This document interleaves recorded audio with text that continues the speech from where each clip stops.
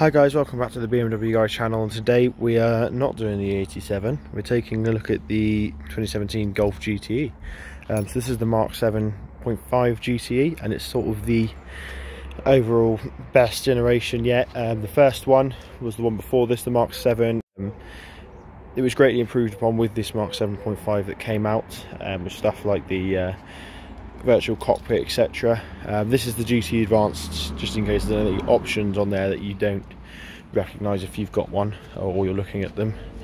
Um, so all the all the options on this car are sort of subject to spec. Um, but yeah so what I'm going to be talking about today guys is the reliability of this car. Um, so we've had it two years um, collected it on September the 1st 2017 and in those two years this car has done 62,000 miles. It's used as a used for commuting daily, um, purely because it's a company car um, and it's a hybrid, which meant we could save a hell of a lot of money on tax and still have a nice, decent, fast car um, to run around in. So um, yeah, so far this car has been fairly trouble-free. Um, we have had a few major issues that I'm going to go through. Um, but in terms of reliability of the hybrid system, it's been excellent. Um, at the moment, due to its long journeys and that sort of thing, the hybrid system isn't as working as efficiently as it could be, um, and that's more a user error than anything really. So we're currently getting about 40 mpg um, from this car, uh, but that's pretty much using the 1.4 TSI engine um, as the main source of propulsion, and um, allowing the hybrid electric system to be more of a performance booster than anything really. Um, so yeah, let's get into the problems. Um, it was all going fairly well um, until this car had a infotainment head unit failure. Um, and this has the latest Volkswagen one, as you can see. Um, actually, I haven't got the keys on me, I'll show you inside. But um, yeah, it's got the latest Volkswagen system and it actually failed completely uh, and because it's the GTE special one um, it meant that there was none in the country. Um, there was no replacement units in the country.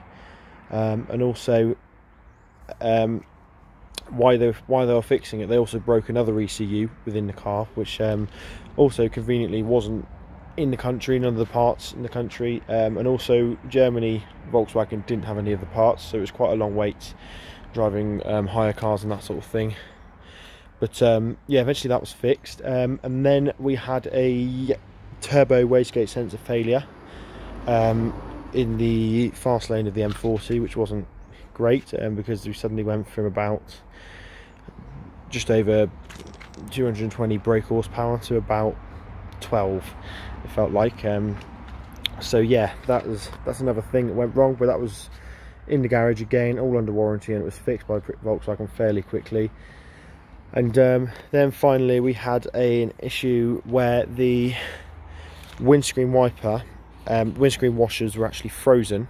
Um, we went to use the um, washers anyway because we obviously we didn't realize they were frozen. It was quite a cold day and the car had been running a fair while.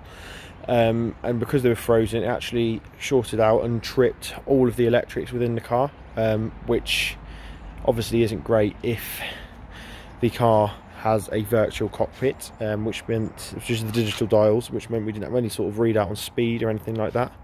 Um, so it was quite an issue really with the resort to using the speedometer on Waze on our phone. But um, yeah, apart from that, it's all been fairly decent. The GT platform itself has not been the issue; it's more been general Volkswagen parts. Um, so I suppose you could argue that that's that's a plus. It shouldn't put you off um, buying one of these as a used vehicle because obviously it's not the hybrid system itself that's causing the issues. Um, and these vehicles do have the potential of doing well over 70 miles per gallon um, once they're properly used um, used with the charging etc but um, yes it's a quick overview on the reliability while we've had this car. Um, thanks for watching. Don't forget to like comment subscribe. And if you've got anything that you'd like to say about this car whether you own them be really interested to find out about how your guys ownerships have been of these um, because these have actually been cancelled now um, until the new Mark 8 generation comes out which will be quite interesting. Um, I've got an interesting video coming up as to explaining why that was or my theories why it was anyway um, which has sort of been corroborated by several other sources. Um, but yeah you have to wait for that one. Thanks for watching guys and I'll see you in the next one. Cheers